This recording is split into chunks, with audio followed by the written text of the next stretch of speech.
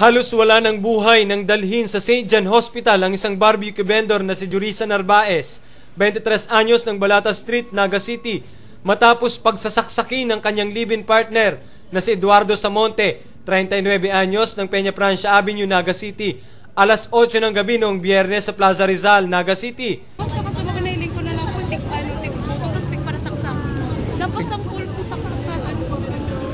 Anong ginamit?